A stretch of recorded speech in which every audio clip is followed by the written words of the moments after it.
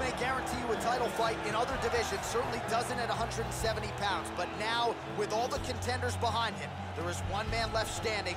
It is this man, the number one welterweight contender, now getting his shot at the dominant champion. And he believes without a shadow of a doubt that he is the best 170 in the world, and he is out to prove it right here, right now. As he steps towards this cage, he understands this is one of the biggest moments in his life, the biggest moment in his career. He is looking to take this title, and he believes his time is now. His preparation has gone perfectly. He is in outstanding shape. He has a great game plan and a great camp, and he believes that he will emerge the new champion of the world tonight after this fight. He is the reigning, defending, undisputed UFC welterweight champion of the world, and a division that has so much depth in that top 15, it's even more remarkable that this man has remained the hunted. The question tonight, with a powerful challenger out of that blue corner, can he walk away and still? The champion is in focus right now. He's making his way towards the cage. His training for this bout has been perfect. Everything ran according to plan. He believes he has a solid game plan, and he's ready to step in here and retain his title.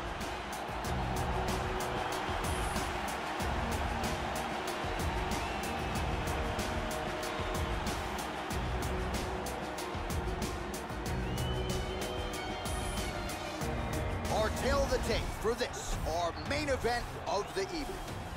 More than five years apart. Some differences in height and reach as well. Here is Bruce Buffer. Ladies and gentlemen, this is the main event of the evening. And when the action begins, our referee in charge of the octagon is Herb Dean. And now, this is the moment UFC fans around the world have been waiting for. Live from the MGM Grand Garden Arena in Las Vegas. It's time! For the undisputed UFC welterweight championship of the world. First, fighting out of the blue corner.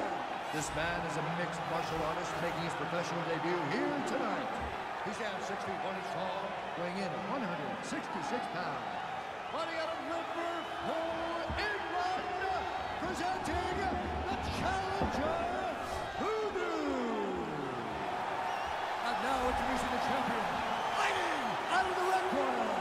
This man is a jiu-jitsu fighter, making his professional debut here tonight. He stands 5 feet 9 inches tall, weighing in at 156 pounds.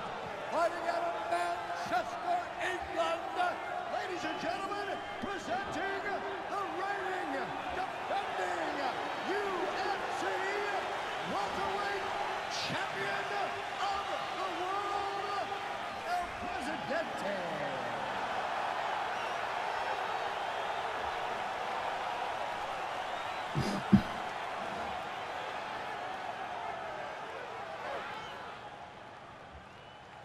All right, this is for the championship. You've been given your instructions in the dressing room. Protect yourself at all times. Follow my instructions. We will have a clean fight. Touch gloves, let's make it official. I am very fired up for this fight. It's been a long time coming. The fans have been anticipating this for a long time, and it is gonna go down right now. Here we go. There's that head kick. Out of range with that one. And that one certainly found the target.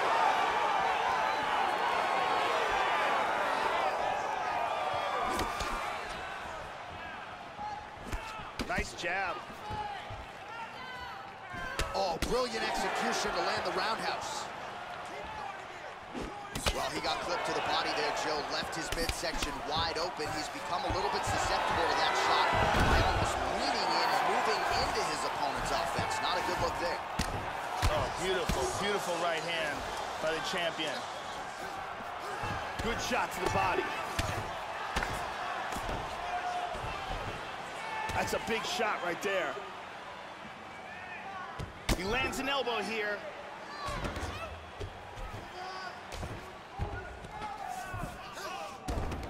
Good left hand. And dizzy as he looks to improve position here.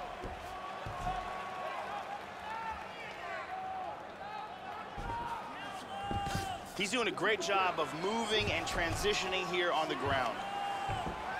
Kimura.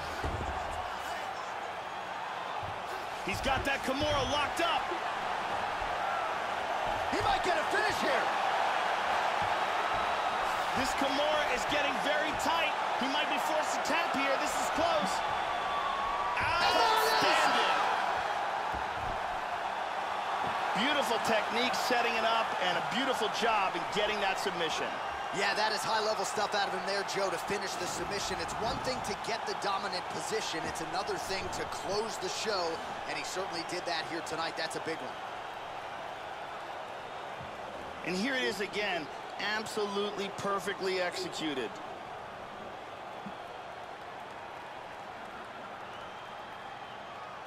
And one more time, nice technique here on this submission.